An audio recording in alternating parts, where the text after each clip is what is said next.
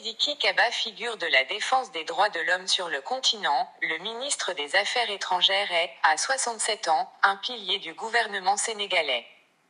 Nous vous présentons 10 facettes de Maître Sidiki Kaba. Humaniste. Dès le début de sa carrière d'avocat, ce spécialiste du droit des affaires privilégie la défense des droits de l'homme. Il milite dans des ONG, Amnesty, ONDH. Il est le premier Africain nommé à la tête de la Fédération internationale des ligues des droits de l'homme, FID, en 2001. Multicarte, il a défendu les victimes de Hissène Abré, l'ancien président tchadien, ainsi que des opposants burkinabés dans l'affaire Norbert Zongo. Il a également été l'avocat de plusieurs responsables politiques, Alassane Ouattara, Alpha Condé ou Idrissa Seck, l'ex-premier ministre sénégalais. Combattant.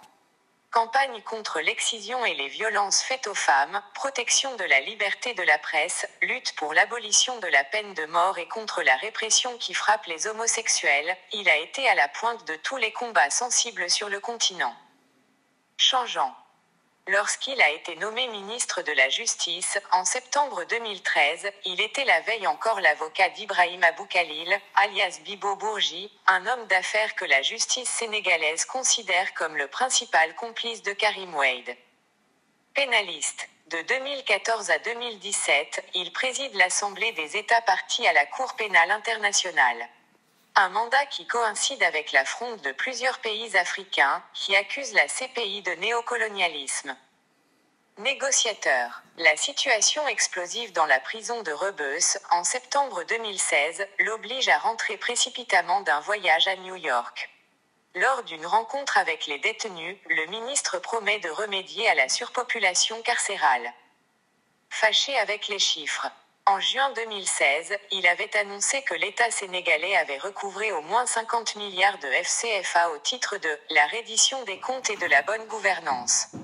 Mais, après vérification, il est apparu que la majeure partie de cette somme ne devait rien au succès de la lutte contre les biens mal acquis.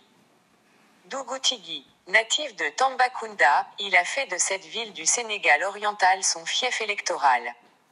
Tête de liste lors des législatives de 2017, Dougoutigui, le chef du terroir, en Bambara, a recueilli 55,5% des suffrages. Indigné.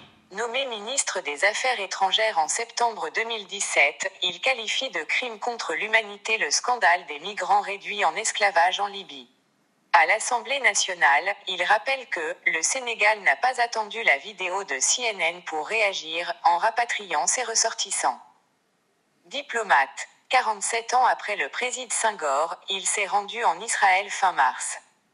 Une visite historique qui intervient un an après que Dakar a voté une résolution onusienne condamnant la colonisation israélienne, ce qui avait provoqué une brouille entre les deux pays. N'oubliez pas d'aimer votre chaîne Latranga TV pour suivre l'actualité au Sénégal.